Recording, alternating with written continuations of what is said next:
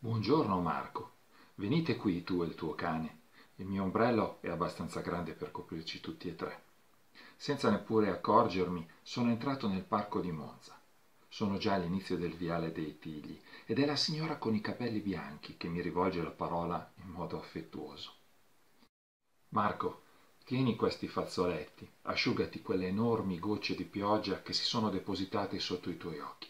Sai, tante volte le cose non vanno come vorremmo ed è difficile fare i conti con la realtà. Io mi chiamo Lidia.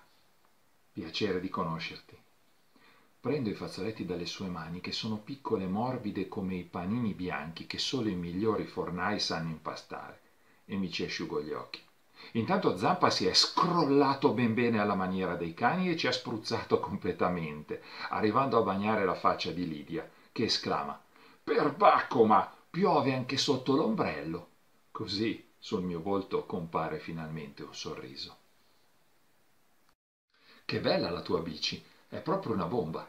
Sai, anche io alla tua età amavo andare in bicicletta, ma quella che avevo quando andavo a scuola era una carretta, non aveva freni, non aveva i fanali, aveva i, i copertoni consumati. Poi qualche anno dopo me ne hanno regalata una nuova, bellissima. Non so dove l'avessero presa, ma l'importante è che con quella bici, che era una delle prime che avevano i cambi, clic, mettevo il rapporto giusto e andavo in salita che era una meraviglia. Mi sembrava quasi di avere le ali ai piedi. Soprattutto quando dovevo fare tragitti molto lunghi, ad esempio da Novara a Milano, dopo che avevano fatto saltare il ponte sul Ticino e il treno non passava più. Allora mi facevo trainare attaccandomi ai camion allora si usava farlo, anche se era proibito perché era molto pericoloso. C'era una tecnica che dovevi usare, bisognava stare attenti perché appena il camion frenava, zac, dovevi lasciare la presa, altrimenti rischiavi di prenderti una bella capocciata e di finire per terra. Io rimango a bocca aperta nel sentire i racconti di questa signora, che sembra aver avuto una vita molto avventurosa, e le chiedo timidamente, ma Lidia, chi gliel'ha regalata la bicicletta nuova?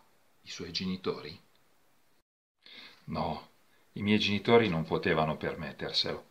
Me l'hanno regalata dopo averla probabilmente requisita a qualche fascista i miei compagni, i partigiani, perché io, ai miei tempi, ho partecipato alla resistenza.